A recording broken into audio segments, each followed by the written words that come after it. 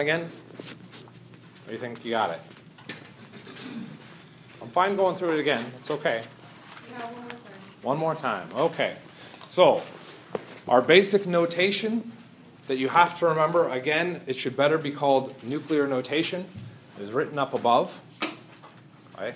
We've got our mass number, which is our protons and neutrons. Our atomic number is our protons. With that basic information, I can determine the number of neutrons because the difference between those gives me the number of neutrons. Do I see any information about the number of electrons? No. Not directly. It turns out that we do have a way to just understand the number of electrons based only on what's shown there. Right? If we take a look at the symbols for protons and neutrons, do you see anything on the left hand side of the symbol? Okay. I know you're, you're like, what does that even mean? Okay, so let's just take a look at a proton here.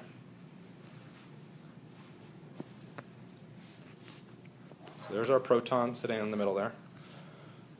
What is written on the upper left hand corner? Nothing. Why?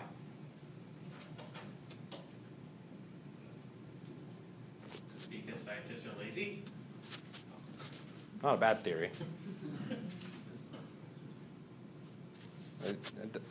Getting kind of the right idea, when would we look at isotopes? Different isotopes are what? They're an element, but there's something different about that element. Is a proton an element? No. That upper left hand corner is the mass number for an element. Is a proton an element? No, so don't write anything in the upper left hand corner. Okay? Because it, it doesn't make sense to write anything there. How about in the lower left hand corner? Again, nothing. Why? Okay, it's just a proton, it's not an atom. So,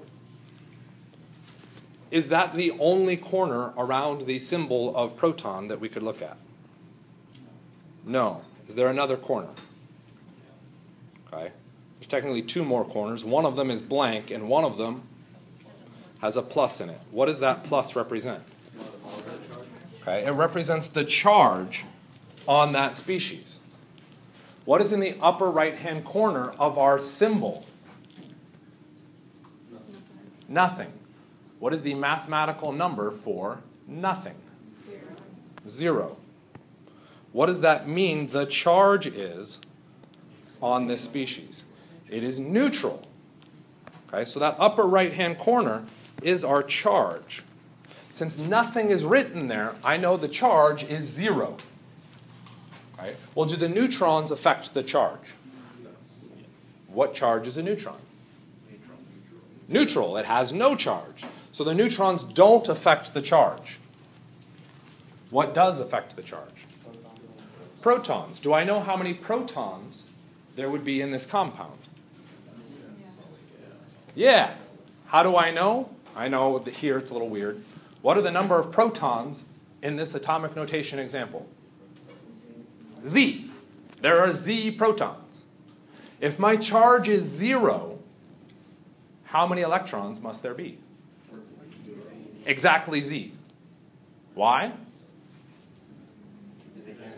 So that those would cancel out to get me a charge of zero. Okay? So the upper right hand corner is where we specify information about our charge. It is the net charge on the molecule, so it factors in both protons and electrons. It becomes tricky because a proton is positive and an electron is negative. So we have to be aware of those charges because it will mess with your brain. And for those of you who think it's just a minus charge, it's not that big a deal. Okay? Keep that in your mind because you will make a mistake in this semester where all you had to do was subtract and instead you added. Okay? So minus charges are the bane of your existence as far as science is concerned. It seems to be such a simple thing. Track those minus charges because they make a really big deal. Okay? So, with that extra information, clear all that away. If we move to an example, there's our example shown. The element is, how do you know it's silicon? Because you've now memorized, because Tuesday to Thursday you had enough time to memorize all the names of the elements. Like, dude, I worked. I know. Don't stress, you should be starting to work, okay, or starting to study. Okay? And I know that because I've memorized it. Okay? The atomic number I know is 14 because it's specified in the lower left hand corner of this. How else do I know the atomic number is 14? It's in the bottom of Periodic. I just said SI is found where on our periodic table? In the box that has 14 written right above it. Okay? So the symbol in conjunction with the periodic table tells us that atomic number. Okay? What does that atomic number represent? The number of protons. So I know silicon has 14 protons. Okay? This symbol tells me that the mass number is 29. Take a quick look at the periodic table for me. Is the mass number on the periodic table? I heard some people saying yes, but not looking at the periodic table. Because if we look at the periodic table, what is the mass number on the periodic table? Trick question, it's not on there. What is 28.09? It's the atomic mass, not the mass number. Isn't the mass of an atom the same as the mass? No, I'm confused. Me too. Okay? Different things. The mass number is specifically given to you in the atomic notation. You cannot pull it from the periodic table. All you can pull from the periodic table is the atomic mass, a different thing. Okay, so if I know that the mass number is 29, okay, I know, let's see, I know that the number of protons plus the number of neutrons equals that number. Okay, so P plus N equals 29. How would I figure out the number of neutrons? Well, what else did I know in the previous system? Well, I know that P equals 14. Okay. What we've now just generated is a system of two equations and two unknowns we can now solve. If you haven't heard that phrase before, it's also known as algebra. Okay? So that whole mathematics class where they're playing around with variables and numbers, there it is. It's important for chemistry. I'll never do algebra again. Ta-da! Okay?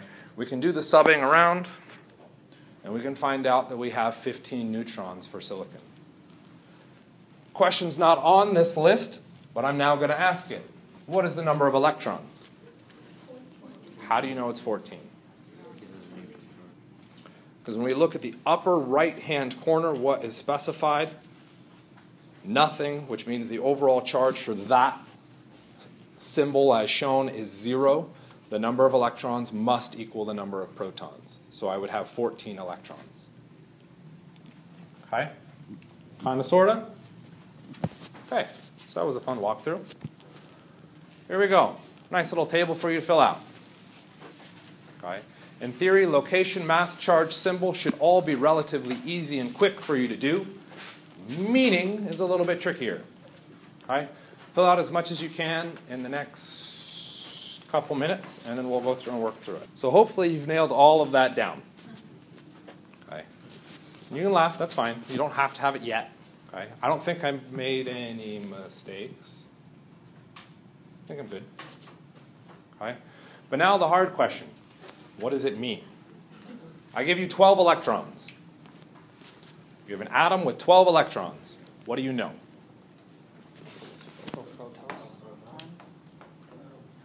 Does it necessarily? If the charge is neutral, I didn't tell you that. I just said you have 12 electrons and an atom. So this all is constant and this part never changes? Yep, the first left never changes. Okay, those are as constant as they can be. We can refine them in different situations, but those never change. The meaning is ultimately, in my opinion, never going to change also. Okay. So the number of electrons and an atom doesn't really tell us anything. Okay? Well, it, it tells us we have an atom, and that, that atom has 12 electrons. Okay, so we didn't add any information to that. What if I tell you it has 12 protons? Same thing, unless you know the charge of the. Becomes magnesium, right? Magnesium? Why are you saying it becomes magnesium? Because I looked at the chart. If I have 12 protons, that means my atomic number is 12, which means I have magnesium. What if I change the number of electrons? Doesn't matter. The number of protons is still 12. What if I change the number of neutrons? Doesn't matter. The atomic number is still 12. So by identifying that we have an atom and that we know the number of protons, what have we found? We know the element. Right? So I would make the argument that our protons define the element. Okay? So starting with electrons doesn't work, starting with protons does. Can we start with just neutrons? What if I tell you you have 12 neutrons and an atom?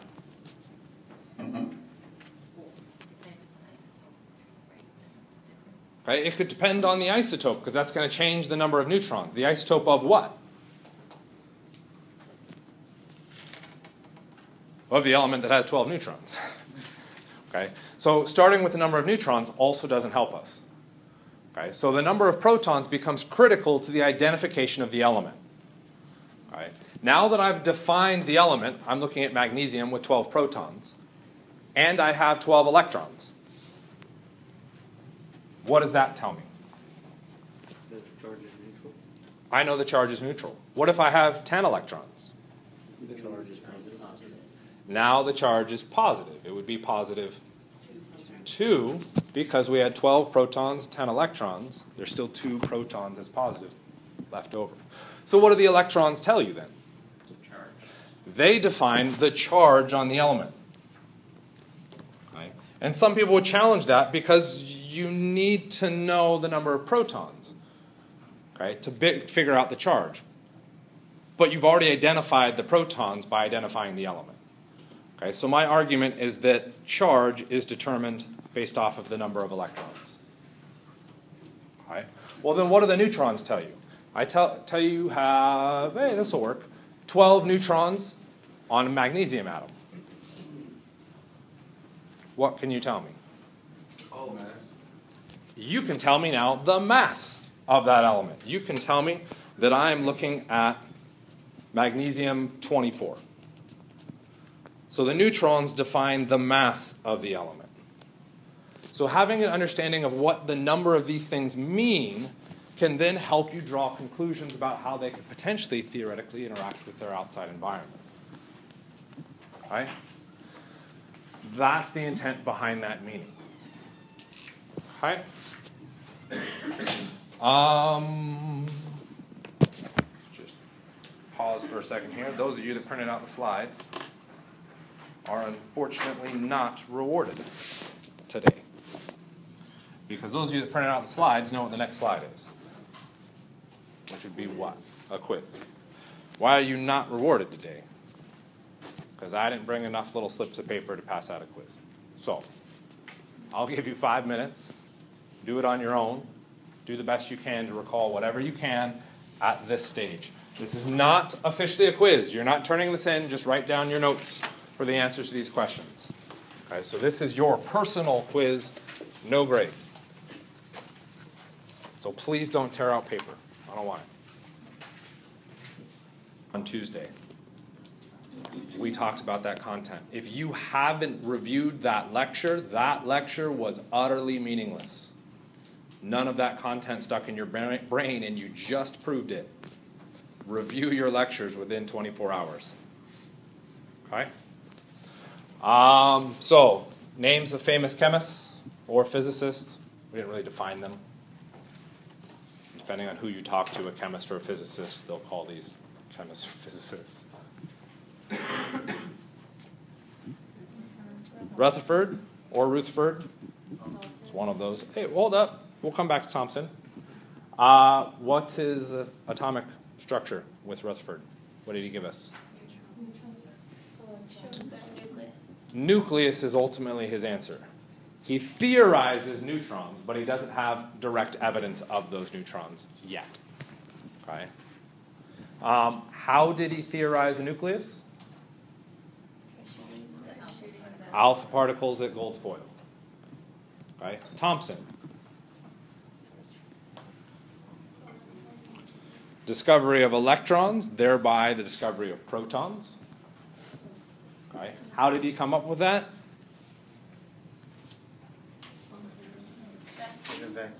with a vacuum.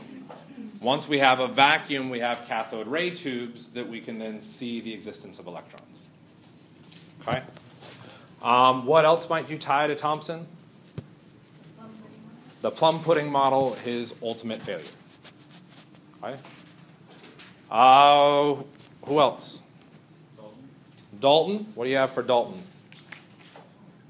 His atomic theory you could go through and list out all five of his theories.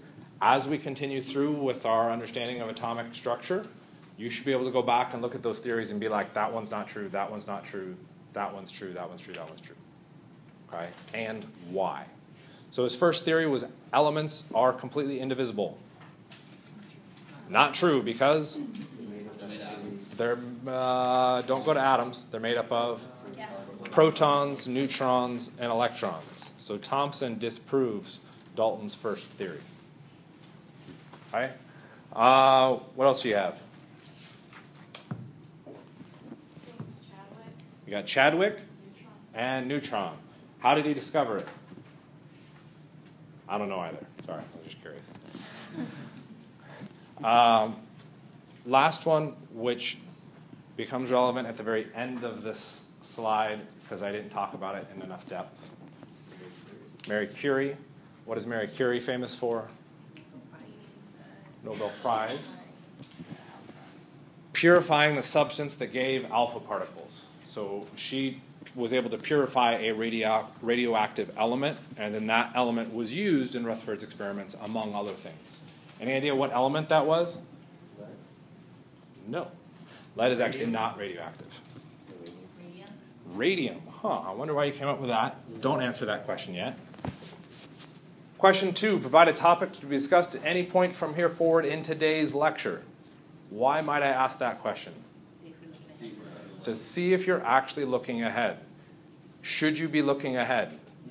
Absolutely. Okay? If you're not, remember there's levels of being a student. Okay? I'm trying to tell you the ultimate level. If you can't get there, that's okay.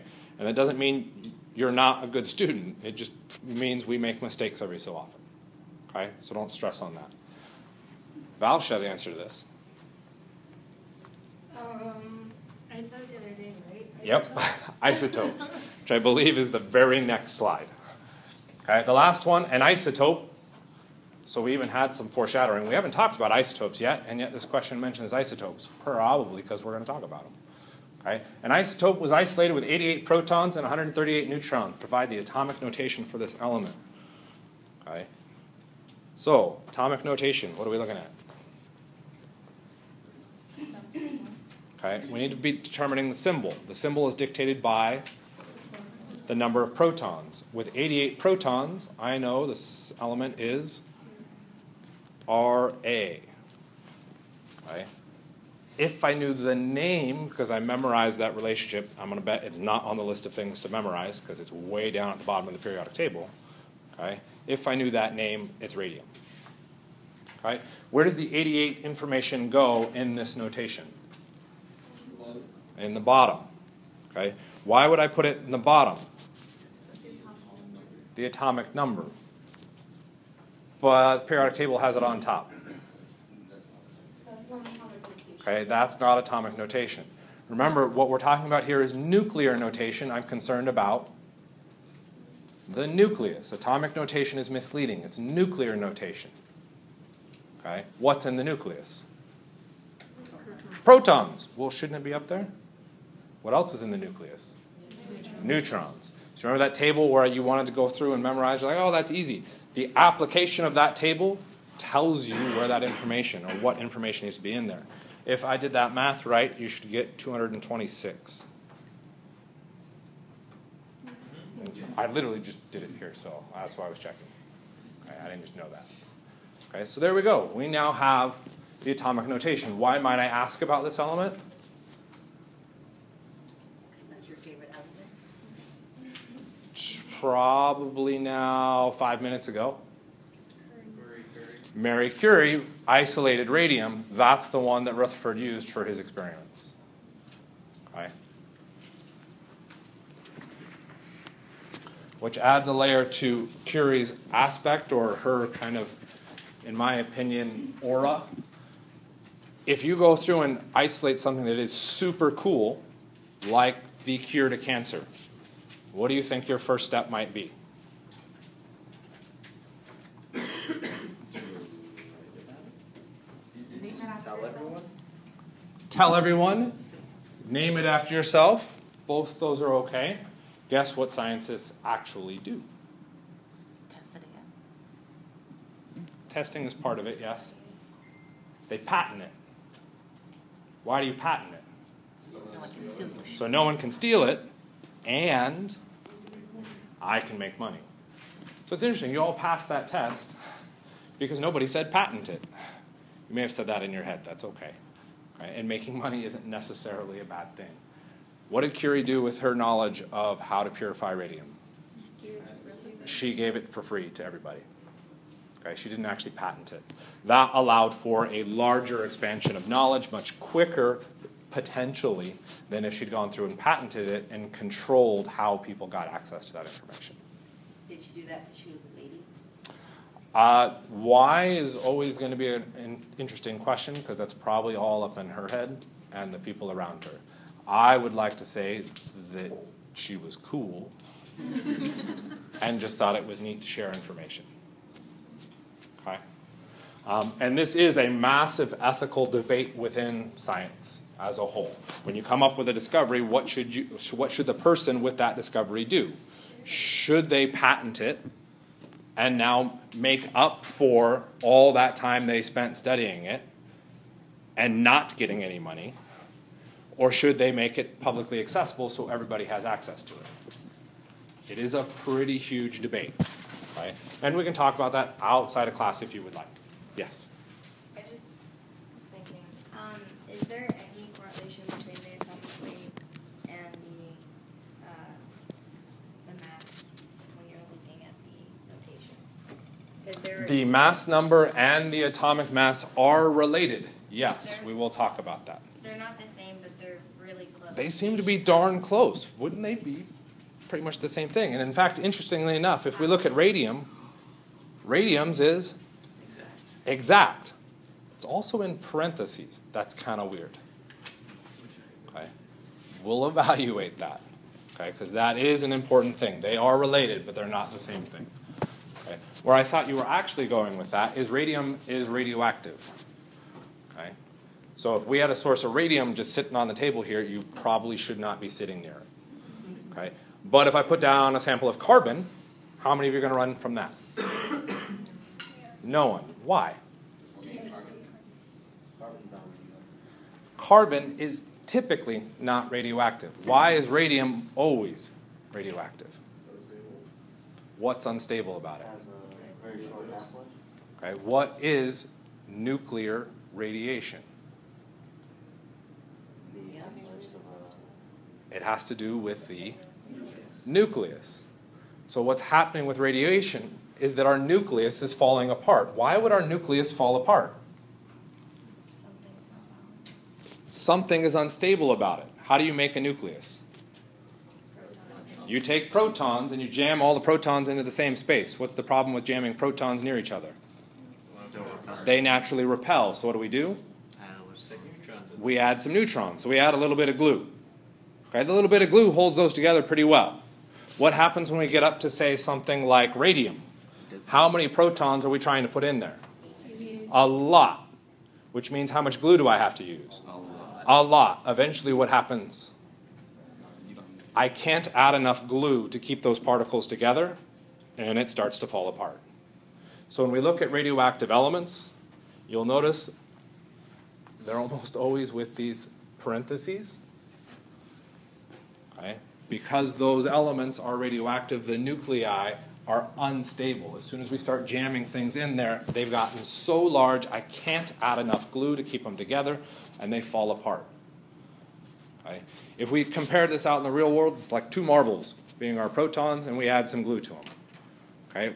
Third marble, we add some more glue. If we add 88 marbles together, there's now so much glue that the inside glue doesn't have quite enough time to hold or form a tight bond, and it starts to come apart. Okay? The interesting thing about nuclear radiation is that it comes apart in very predictable fashions. Whereas if we just jammed a bunch of glue together, probably what's going to happen to our nice nucleus? It just randomly falls apart. Right? It's not random when we look at nuclear radiation. It has very particular patterns. Okay? It's one of the reasons why uh, Curie gets famous too, is because she was able to predict how these things fall apart. Not this class though. So, isotopes. Our protons define the element, the neutrons define the isotope. Okay? We could look at as as a type of the element because it's still the same element. We could also phrase that not as type but as mass of the element. So let's take a look at a simple example. We'll go as simple as we can. We'll look at hydrogen. hydrogen actually has two common isotopes. There's actually a third, but there's two common isotopes. We have protium. What is the mass for protium? The mass number for protium?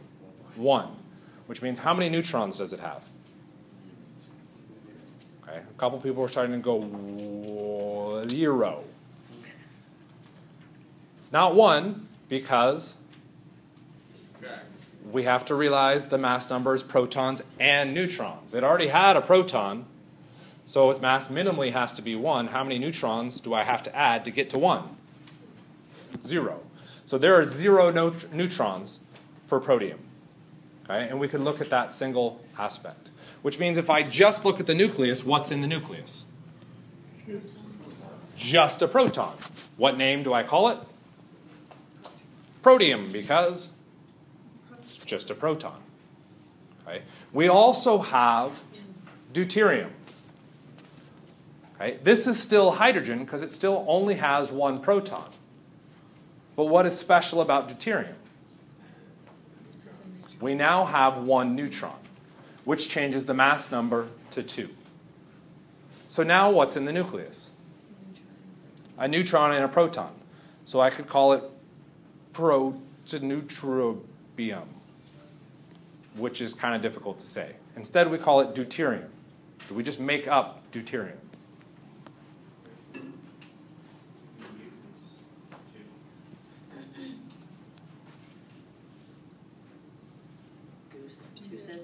Deuces. For two, or dual for two.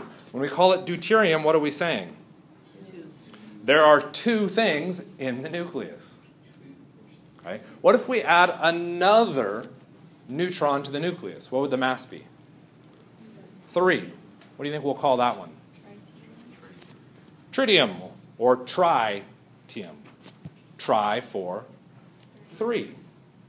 Okay? So if you hear, have heard reference to tritium, it's hydrogen with two neutrons. Okay? So if I look at hydrogen, a random sample of hydrogen, some of it is protium, some of it is deuterium. I could go through and create a new symbol for each of those. And because these are relatively simple, we do do that, okay? But you don't, so don't worry about it. Okay? I don't want to create a new symbol because they're still both the same element. And for the most part, their chemical reactivities are identical. Okay? So, how do I find information about the existence of this other isotope? Okay, well, if there's two isotopes there, what if I want to determine the mass of hydrogen in that sample? Well, hydrogen includes both protium and deuterium. What would the average mass be? How would I calculate that?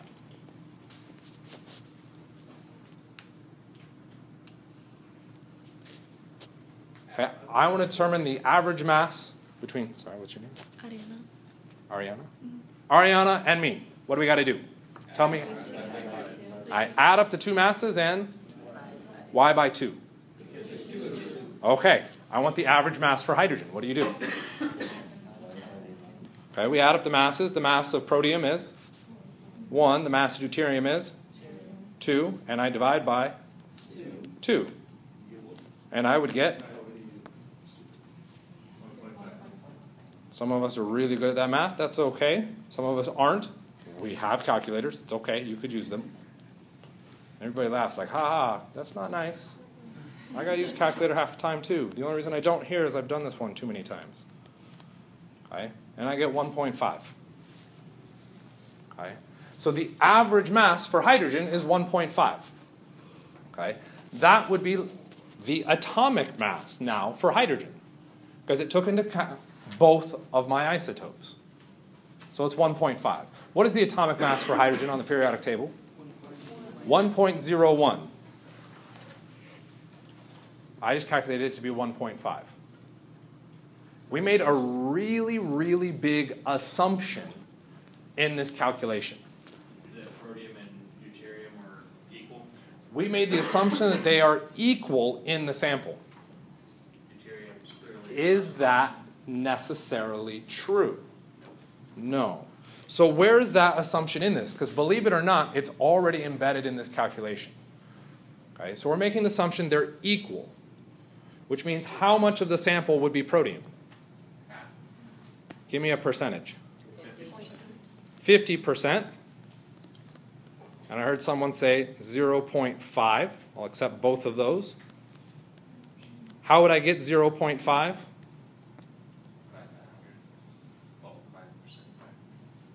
What would I mathematically have to do to get 0.5? 1 divided by 2, or half of 1. There we go. Okay? That's all going to become important here in a second. So I'm going to clean this up because we're going to break some stuff down here. We had 1 plus 2 divided by 2, right? Okay. That is also the same as saying 1 over 2 plus 2 over 2. Yeah? Okay. Ooh, 1 over 2. That's interesting. Okay. That is also the same as saying 1 over 2 times 1. Yeah? Like, that's kind of silly. Why would you do that? I'm thinking ahead. Plus 1 over 2, kind of weird, times 2. This 1 over 2 and this 1 over 2 have the same meaning. What are those 1 over 2s?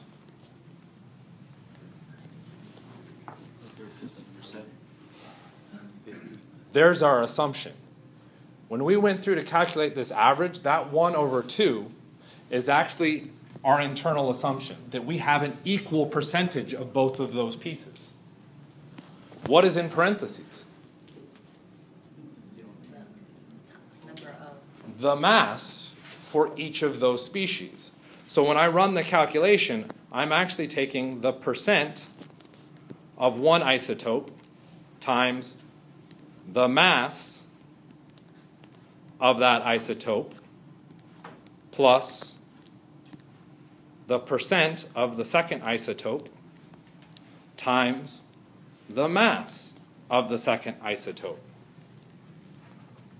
That's actually what I'm doing when I calculate an average. For a simple average, we just do add the parts divided by the total number. Okay? That embeds in it the assumption that they're all equally weighted. Kind of makes sense?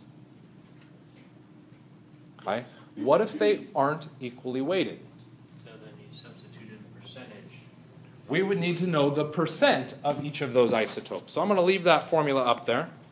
This is one you will probably have to use a calculator for, unless you want to kind of just use some pretty awesome predictive skills. Protium, it turns out, makes up 99% of our hydrogen. Deuterium makes up the remaining 1%. For those of you saying, didn't you say tritium exists? Ignore what I said. It is true, but it isn't necessary for our calculations. With that information, tell me what the atomic mass is for a hydrogen sample. So what would you do?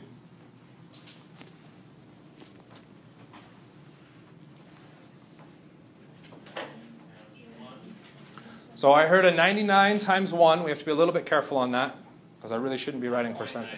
0.99. I have to be looking at the fractional value. Okay? So it's 0.99 times 1. Why'd you multiply by 1? That's the mass of the first species, which we're calling A in this case. Plus 0.01, which is our percentage, times 2. Those of you with calculators get 1 point what? 1.01.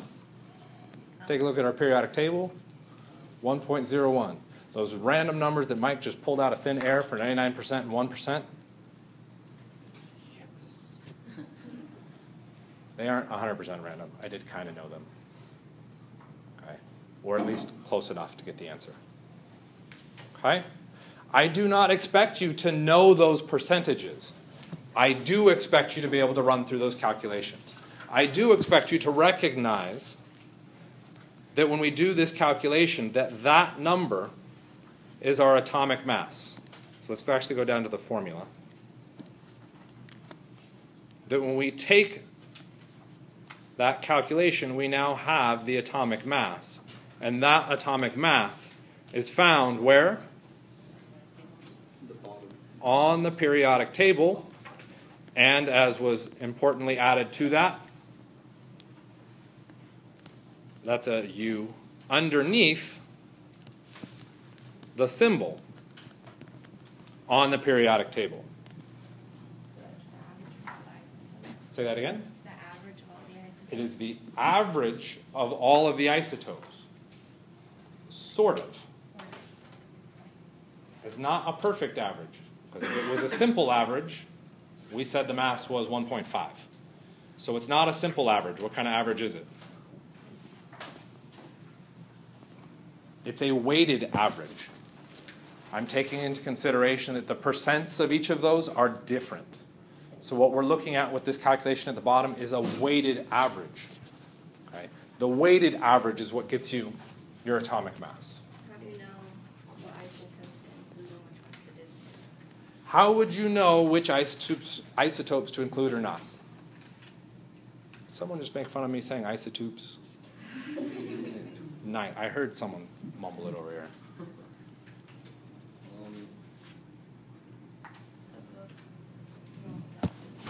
Stable. Okay, so we could go through and look at it in a book. Okay, on an exam, how many of you have your textbook? You all should be keeping your hands down. You don't have your textbook on the exam. You don't have the internet on the exam. How do you get this information? It has to be given to you. Okay? I do not expect you to memorize it. Okay? We could go through and look at it for lead, just how many neutrons. We've already done that calculation. That's not this one. So what we're talking about here is really a percent, okay? Unitless information. Okay? It's how much of one quantity in comparison to the total sample. Okay? Uh, sorry, so this is straightforward there. So what we just talked about is our simple versus weighted average. Okay? That previous slide is a simple average. Okay, and we'll come back to that calculation in just a second. Okay? For isotope mass, that's now a weighted average. How would I go through and do this? Okay? A weighted average takes into consideration those percentages. So how could you see this as a test question? Gallium has two isotopes. 69 gallium with a mass of 68.926 AMUs. What is an AMU? Atomic mass unit. How many of you didn't know that? Really? Only like six of you didn't know that? Okay. Doesn't matter. I don't care. Okay, we haven't talked about making any measurements yet. We just know that it's, it's some value associated with that. the M if we know mass. Cool. There we go. That is now the mass for it. It has a 60.11% abundance and gallium 71. What is the mass of gallium 71 in AMUs to four significant digits? Don't stress necessarily about the significant digits either in this calculation. So how would I go through and solve this? What information do I know? So going to the numbers right away isn't necessarily a bad thing, and you're typically trained to do that. Just start pulling out numbers. The numbers aren't useful if you don't have a meaning associated with them. What is the meaning of that 60.11% tied to? Gives you the percentage for what? gallium 69. So for gallium 69, I know that I have a 60.11% because I'm kind of suspicious I'm going to have to do a calculation, I might immediately convert that out of a percent. Please reconnect. Please reconnect. Thank you. Percent means percent. What is a cent? 100. 100. So this is really 60.11 divided by 100, which is really 0.6011. So those who are like, well, how did he go from 99% to 0.99? That's how he did it. Percent means per 100. When we go through to do a calculation, that's what's happening. Okay, what else do we know about gallium 69? We know the mass is 68.926 AMUs. Do we have any more information? Again, with the calculation, hold back, hold back. Atomic number for what? I already wrote down the atomic number. Uh, no, sorry. We have we'll deal with the atomic number. percentage of the gallium 71 by just subtracting. No, we don't have the percentage of gallium 71 explicitly stated. It says it only Okay. has two isotopes. And again, gallium 71 is the important first thing to identify. Writing down random numbers doesn't help you if you don't remember what they're tied to. And for those of you saying, but I know what it's tied to, do it on an exam where you're stressed out of your mind that you're going to fail the class and you don't know what it's tied to. Write that information down. We're now writing down that we know information about gallium 71. What do I know about the gallium 71? Well, I'm going to need to know its mass and the percentage. Okay? Does anybody see the percentage? And we'll get to, I know where you guys are going. Is the percentage explicitly stated? No. No. no. Is the mass explicitly stated? No. Only for one. The mass is explicitly stated for gallium 71 in what? And that I need to solve for it. Yeah. Okay, so that is now absolutely an un, unknown value. I actually don't know what that is. I have to solve for that. That to me would be underlining the question mark. That's my solve. Okay? To solve for it, I need to know the percentage, right? And I'm only given the percentage of gallium 69. Okay? There's another piece of information embedded in the question. What is that piece of information, guys? Gallium has two isotopes. There are only two isotopes for gallium, which means if I add up the percentage of one isotope to the percentage of the other one, what it had better equal? 100%. Okay? So that means 60.11 plus some unknown percentage for our gallium 61 must equal 100%. I can now solve for that percentage being 39.89. I'm just trusting you guys. I can't do that math that fast. Okay, percent, which again, I'm suspicious I'm going to have to run a calculation. That's the same as saying, thir- I already forgot the number, 39.89 over 100. I forgot it, but it was on the board. Which is the same as 0.3989. Now, what can I do that I have all of this information? Get the AMU. I can figure out the mass. Because I know a fancy little equation, right? I know that if I take the percent of isotope A times the mass of isotope A plus the percent of isotope B plus the mass of isotope B. I could figure this out. So I'm going to go through the go away, stupid screen. Percent of A was okay, 0.6011. Okay. Does that look like 6.691? Yeah. Making a simple slide can mess with your calculations, so be careful when you go through and write things out. The mass of A was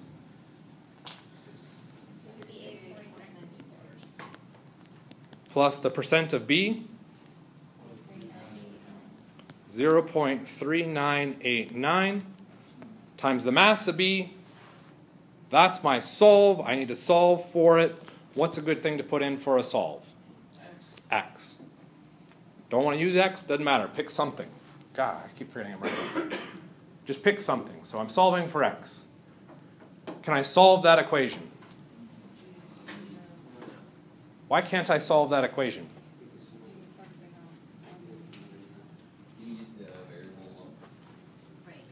I need to know. What's on the other side of the equation. Atomic mass. The atomic mass. That equation equals the atomic mass.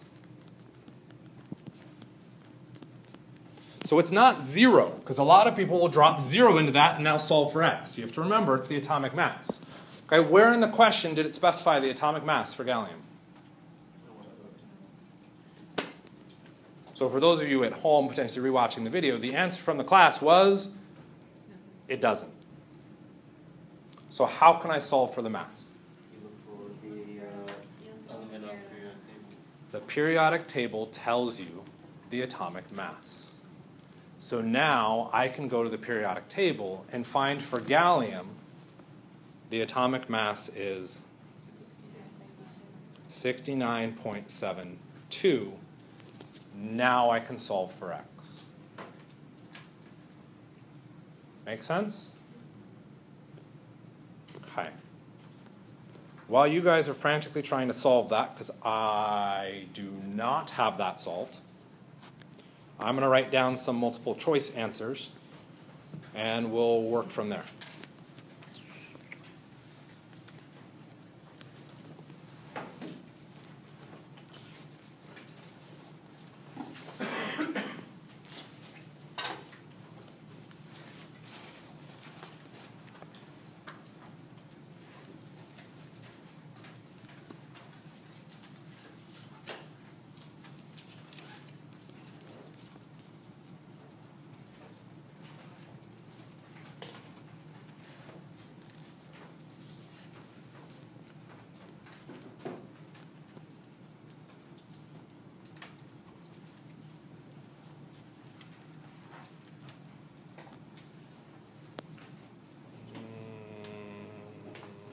Let's. I didn't record it. I thought it was a good explanation. Sorry. So, here's our new question. And I apologize for those watching at home.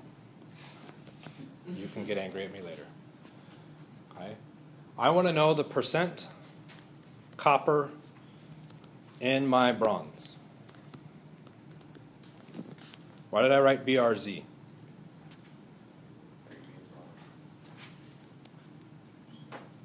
I'm lazy. I don't want to write out bronze. Okay, why did I write Cu instead of copper? Because that's the element symbol. Again, I'm lazy. I can take advantage of that. Okay, percent copper. Okay, it's the one quantity over the total sample. So what am I looking for? I want the mass of copper over The mass of both. the total mass. The mass of both is a better way of phrasing that. What is your both? The copper and tin. The mass of copper plus the mass of tin. That number is not 100 because that is a secondary question. So you can't add that information in. Okay, so what was the mass of copper?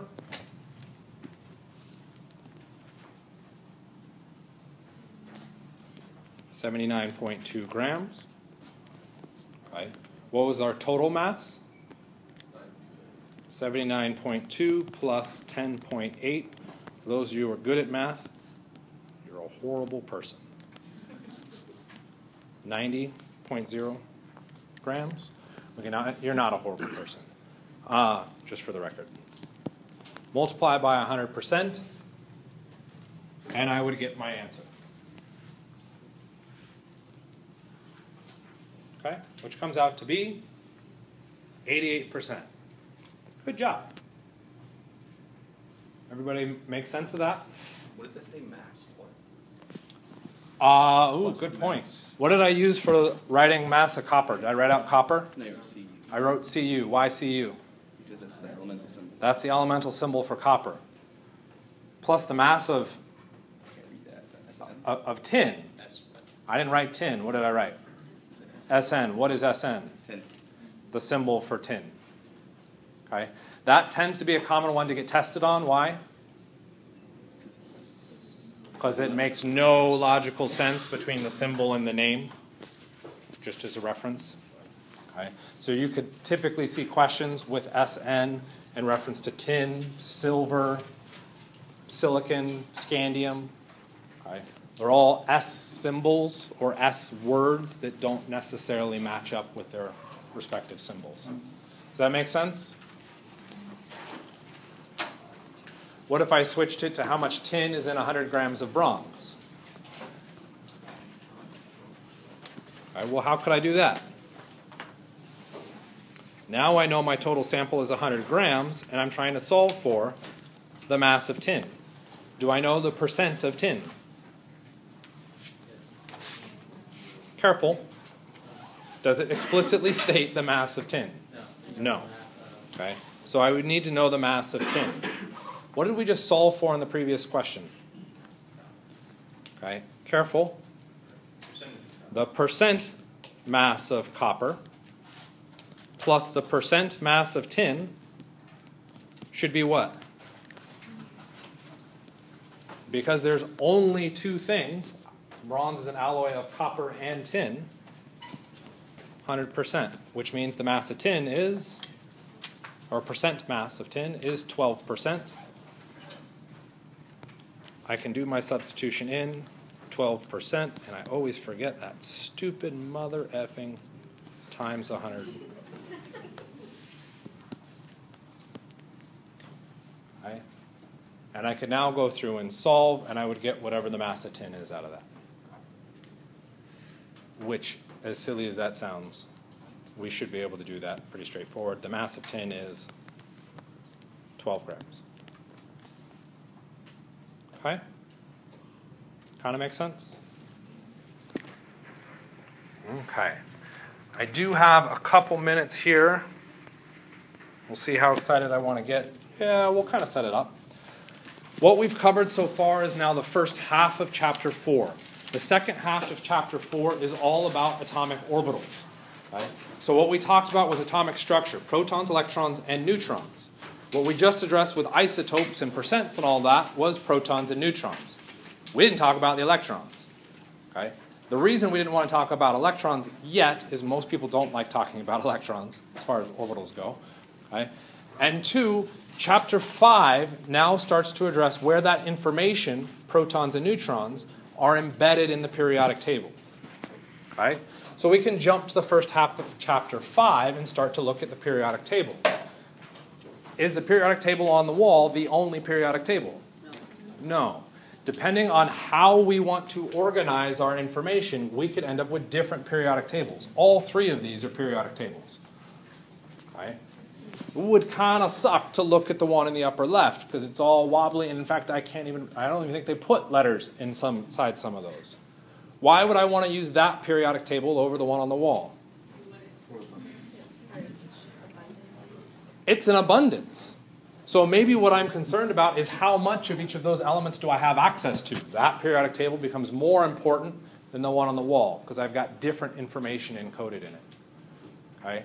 The other ones have a different representation for how that information is encoded. Okay? Remember, our periodic table is a really fancy decoder ring that you know you found in your cereal box. Okay? That's what a periodic table is. Okay? There's information there, we have to decode it. That information is organized according to how people thought about it. And that's how we'll pick up the next one, Tuesday.